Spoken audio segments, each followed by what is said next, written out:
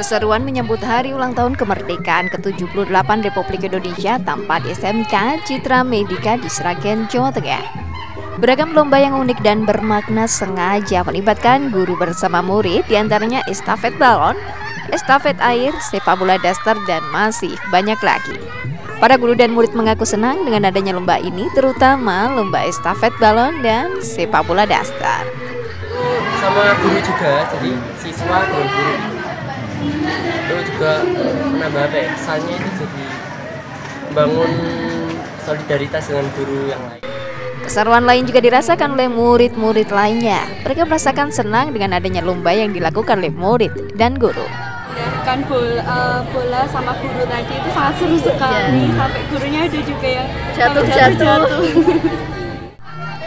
Tak hanya untuk memberiakan HUT kemerdekaan, lomba ini juga ditujukan untuk memupuk pentingnya semangat bekerja sama dan kekeluargaan antara guru dan murid. Meningkatkan rasa nasionalisme, cinta tanah air anak-anak melalui lomba-lomba yang unik, yang menarik, yang mungkin mereka belum pernah lakukan. Ini tujuannya adalah untuk meningkatkan rasa kesulitan, ke kebersamaan dan juga kedekatan antara guru dan juga anak.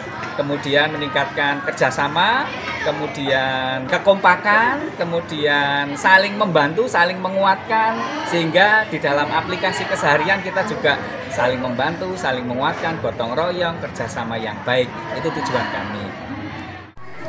Diharapkan dengan adanya beragam kegiatan yang digelar memperingati HUT kemerdekaan Republik Indonesia ini bisa lebih meningkatkan rasa nasionalisme dan cinta tanah air di kalangan generasi muda. Nugroho Yuliawan, Kompas TV, Sragen, Jawa Tengah.